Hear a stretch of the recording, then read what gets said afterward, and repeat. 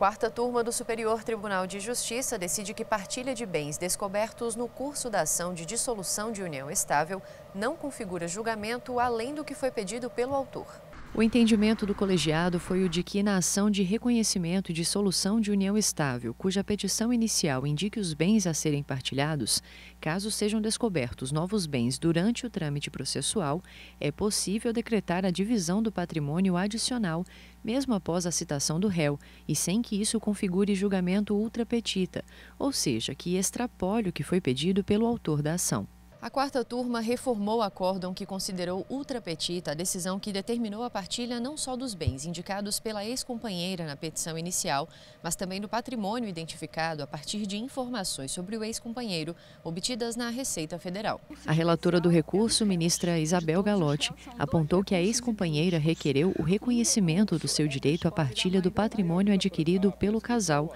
o qual não se limita aos bens reconhecidos por ela no momento da propositura da ação. No voto que foi acompanhado pelo colegiado, a relatora destacou que a manutenção do entendimento da Corte Estadual representaria uma recompensa àquele que agiu de má fé ao ocultar patrimônio formado durante o tempo de convivência pelo casal, o qual somente foi descoberto graças à requisição de informações feita pela Justiça à Receita Federal.